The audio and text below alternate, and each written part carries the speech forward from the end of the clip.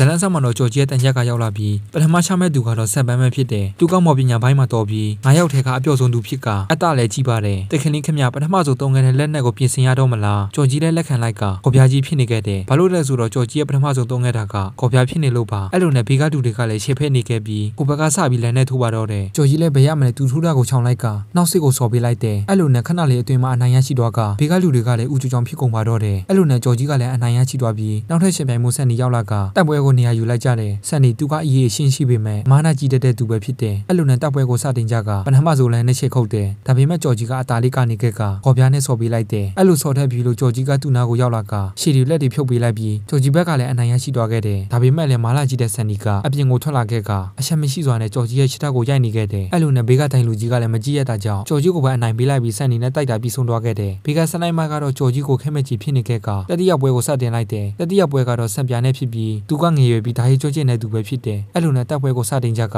ကြော်ကြီးကအနောက်ကိုဆုတ်လိုက်ပြီးဒုံးကြီးတွေထုတ်ပါတော့တယ်ဆန်ပြာကလည်းစောက်ချပုတ်တယ်လို့ပြောလိုက်ကကြော်ကြီးကတော့တိုက်ပွဲရဲ့ဆင်းမြမှာမပါဘူးဆိုပြီးပြောပြလိုက်တယ်အဲ့လိုနဲ့ဆန်ပြာကလည်းမတောက်နိုင်တော့ပဲရင်းရင်စွာနဲ့ဓာနဲ့လက်ခုတ်ကဒါပေမဲ့ကြော်ကြီးကအတိအတာကြီးအားကောင်းနေတာကြောင့်သူ့ဓာကိုဖမ်းလိုက်ပြီးရိုက်ချိုးပေးလိုက်တယ်အဲ့လိုနဲ့ဆန်ပြာလည်းဓာမရှိတာကြောင့်အချုံပေးလိုက်ကတိုက်ပွဲလည်းပြီးဆုံးသွားခဲ့တယ်အဲ့လိုပြီးဆုံးသွားတော့ဘေကလူတူကြီးလည်းကြော်ကြီးကိုချေဖဲနေခဲ့ပြီးသူတို့လောင်းထားတဲ့လောင်းကြီးတွေကုန်မှကြောင်းမလို့ပဲဖြစ်တယ်ဒါပေမဲ့ကြော်ကြီးကဂီယိုမဆိုင်ပဲနောက်တစ်ခါချင်းပြိုင်မှုအနားယူကြကအဲ့လိုအနားယူနေတဲ့အချိန်မှာတော့ကြော်ကြီးတန်ချက်ကရက်ထားတဲ့နေရာမှာကြော်ကြီးအမကိုသူများခိုင်းလိုက်ပြီးဘုံတွေတက်သွားခဲ့တယ်ဒါပေမဲ့ကြော်ကြီးကအပေါ့သွားပြီးလို့ပြန်လာတဲ့အချိန်မှာတော့ကြော်ကြီးရဲ့ဆေးဥကဘုံတွေတက်ထားကြောင်းချင်းပြလိုက်ကကြော်ကြီးလည်းသဘောပေါက်သွားခဲ့တယ်အဲ့လိုနဲ့နောက်ထပ်ဆက်သားရမဲ့တပ်ပွဲကိုရောက်လာခဲ့ကတိုက်ပွဲရဲ့ဆက်ဆက်ချင်းမှာပဲဆက်စိန်ကအပေါ်ပြန်တက်တော့ကသူထောင်ခိုင်းလိုက်တဲ့ဘုံတွေကိုချပေးလိုက်တယ်ဒါပေမဲ့ကြော်ကြီးရဲ့တန်ချက်ကအတော်လေးမှနေတာကြောင့်တရားမှုမရှိခဲ့ပဲကြော်ကြီးလည်းအပေါ်ပြန်တက်လိုက်ကအောက်ကိုရိုက်ချပေးလိုက်တယ်အဲ့လိုနဲ့ရိုက်ချပြီးလို့ဆန်စိန်လည်းချုံတော့ခဲ့ကဘေးကမင်သားလေးကတော့အံ့ဩနေခဲ့တယ်အဲ့လိုနဲ့မင်သားလေးလည်းသူကြိုက်တဲ့ကောင်မလေးကိုနိုင်စီရမယ်လို့ပြောလိုက်ကစနိုင်းမရဲ့စိတ်ထဲမှာတော့ခဏကဒူတွေလည်းဒီလိုပြောထားပြီးချုံတော့တာပဲလို့သူနေခဲ့တယ်အဲ့လိုနဲ့တိုက်ပွဲကိုစတင်လိုက်ပြီးဘေးကဒူတွေကတော့မင်သားလေးဆိုပြီးချေအားပေးနေခဲ့ကတိုက်ပွဲကိုစတင်ကြတယ်မင်သားလေးကတော့သူနန်းတော့မှနေလို့ဘယ်မိန်းကလေးမှစိတ်ဝင်စားခဲ့ဘူးပြီးတော့အစနိုင်းမကိုလည်းစိတ်ဝင်စားဘူးလို့အော်ပြောလိုက်ကစကီလီကတော့မျက်ရည်ကျလာပြီးဝမ်းနဲ့နေခဲ့တယ်ကြော်ကြီးကတော့ပြောရကောင်းမလားဆိုပြီးတော့ခင်းတော့ကမင်းကလိုမျိုးစုံညင်းတာကိုခံဘူးလားပြီးတော့ဘောတော်ကငါ့ကိုရောင်းစားခဲ့တဲ့ခန်းစားချက်ကိုခေါ်တီးလားပြီးတော့ငါဖိတ်ခဲ့တဲ့စက်ကောင်မတွေကငါရဲ့ပါတီပွဲကိုဖျက်ဆီးတော့တဲ့အတွေ့အကြုံကိုတီးလားဆိုပြီးစိတ်အရန်တူတော့က インパクト。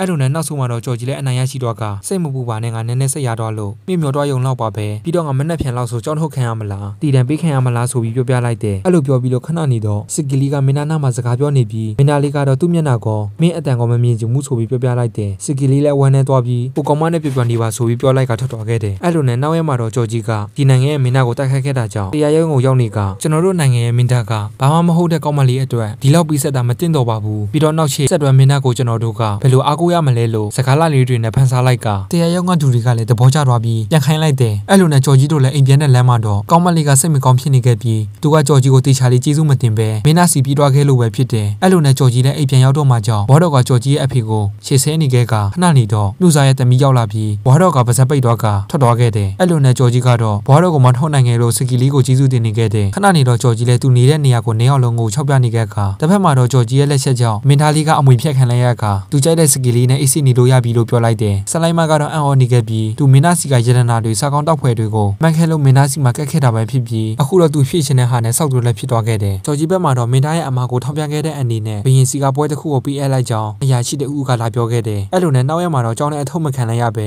အပြောတစ်ခုလေးကြောင့်သူရဲ့ကောင်းပွဲတစ်ခုကိုဘရင်စီမှာလက်ခံရရှိသွားခဲ့တယ်။အဲ့လိုလက်ခံရရှိပြီးလို့ကြောင်းပွဲတော်တစ်ခုကိုကျင်းပကြပြီးကြော်ကြီးကလက်ဖက်အဆိုင်တစ်ခုကိုဖွင့်လိုက်ကစကီရီနှစ်ယောက်ကလည်းဝင်ကူပေးမှဆိုပြီးအဝိစားတွေလဲထားလိုက်တယ်။တစ်ဖက်မှာတော့မင်းသားလေးဆိုင်ကဖွင့်တော်မဖွင့်ရသေးပဲစော်လေးတွေလာဝင်ဖို့ဝိုင်းဝိုင်းလဲနေခဲ့တယ်။အဲ့လိုနဲ့တဲရဲမှာတော့စကီလီကကြော်ကြီးရဲ့ကော်ဖီကြော်ညာကိုကြော်ညာပေးနေခဲ့ကဘေးကလူတွေကကြော်ကြီးဆိုတော့ခဲမကြီးဖြစ်နေခဲ့ပြီးစကီလီကိုရှေ့ဖက်သွားခဲ့တယ်။ခဏနေတော့မဖဲတဲ့ကောင်မလေးရောက်လာပြီးကြော်ကြီးနဲ့မိတ်ဆက်ပေးပါလားလို့အကူကြီးတောင်းလိုက်တယ်။အဲ့လိုနဲ့နောက်ရဲမှာလည်းဘရင်မကကြော်ကြီးကိုတွေ့ချင်တာကြောင့်ပြူစာသမီးကိုလိုက်ကူခိုင်းလိုက်ကကြော်ကြီးဘက်မှာတော့အကြီးအကဲရဲ့သမီးဖြစ်တာကြောင့်ကော်ဖီဆိုင်နဲ့ဝင်ပြီးကြော်ကြီးကိုရှေ့ဖက်နေခဲ့တယ်။အဲ့လိုနဲ့ကြော်ကြီးလည်းဘယ်ရမလဲ။သူ့အစီခံတွေကိုတယောက်ပြီးတယောက်ဆော့ထည့်ပေးလိုက်ကအဲ့ကောင်မလည်းထွက်သွားခဲ့ပြီးကြော်ကြီးလည်းငြိမ်သက်သွားခဲ့တယ်။ခဏနေတော့ဘရင်ရဲ့မိမကိုတွေ့သွားပြီးဘရင်မပါမကြံရှစ်တဲ့အကြောင်းကိုပြောပြလိုက်တယ်။ဘရင်မကလည်းသူ့မှာယောက်ျားချီချောင်းနဲ့တာသမီတွေလည်းချီချောင်းပြောတော့ကြော်ကြီးကတော့ဘာမှမဖြစ်ဘူးဆိုပြီးအတဲအတဲလက်ထက်မယ်လို့ပြောနေခဲ့ကခဏနေတော့သူ့သားရောက်လာပြီးခေါ်ထုတ်တော့ခဲ့တယ်။အဲ့လိုခေါ်ထုတ်တော့ပြီးလို့ခဏနေကြတော့နောက်ထပ်တယောက်ရောက်လာကကြော်ကြီးအရှိမှသူထောက်လိုက်ပြီးသူ့ရဲ့အိမ်တော်မိသားစုကိုကယ်ပေးပါလို့ပြောလိုက်ကဲဒီပိုင်းတယောက်ဒီမှာပဲစက်တိန်ထားပါတယ်။